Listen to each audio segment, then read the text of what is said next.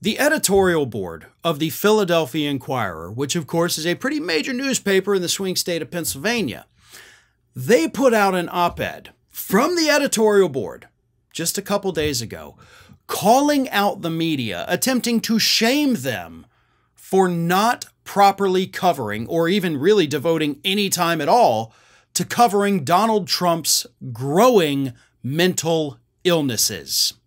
Now, they don't use the word mental illnesses. That is, of course, what I use because I believe everything we see from Trump is a symptom of a mental illness.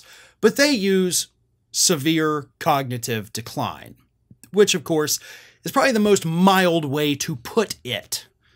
But here is what they said. After, of course, they went after the media, they said they're they need to be asking more questions about the mental fitness for presidency. They said, quote, Donald Trump was always unfit to be president. However, this apparent cognitive decline since he last ran for office in 2020 is alarming. He has long spewed lies and conspiracies, but Trump's rantings have become more delusional, underscoring how he can't be trusted with the nation's nuclear launch codes, let alone to manage budgets, unpredictable crises, or delicate matters of foreign affairs. And before I continue, I do want to hammer on that a little bit, right? Trump is not the same guy he was even when he was serving as president, and he was bad as president. So think about that. As bad as he is right now, let's not forget this is still the same guy that after Hurricane Maria went down to Puerto Rico and was, you know, foul shotting paper towels to people.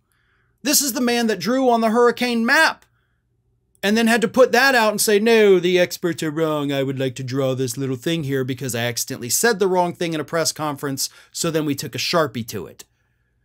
This is a man who actually suggested nuking hurricanes. And hurricanes are major natural disasters that happen every year here in the United States. We've already seen it happen this year. And he can't be trusted with these crises. This is the man that said, hey, you got to vacuum the forest floor to get rid of the forest fires, which are raging out of control. Like, he can't be trusted to handle a natural disaster. People need help in these situations. And this guy would be the commander in chief, and he doesn't even know what the hell's going on. And that was back then.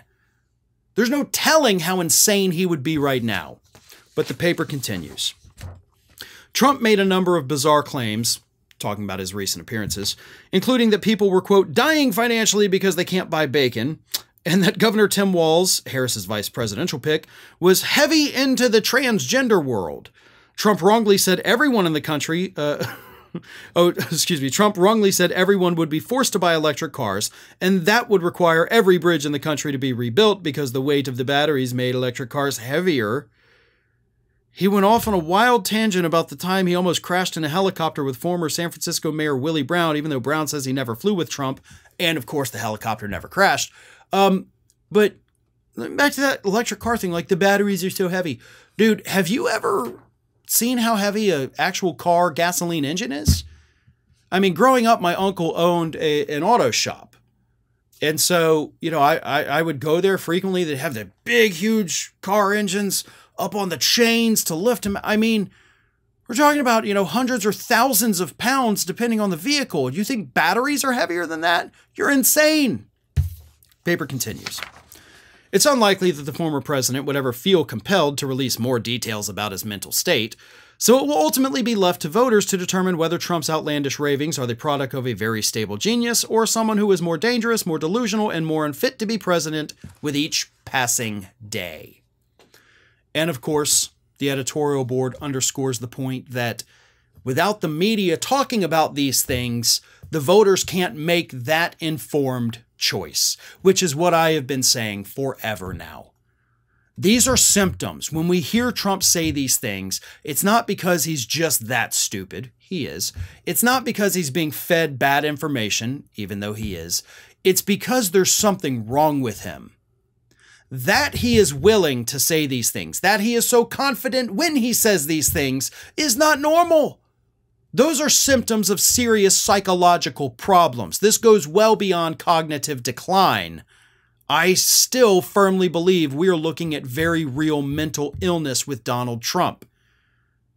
But it doesn't matter because whether it's cognitive decline or full blown psychosis, the media is not doing its job informing the public that Trump's behavior is anything but normal. Hi, everyone. This here is little Athena. And Athena would like to know why you haven't subscribed to Farron Balanced yet. So please, don't let Athena down. Subscribe today.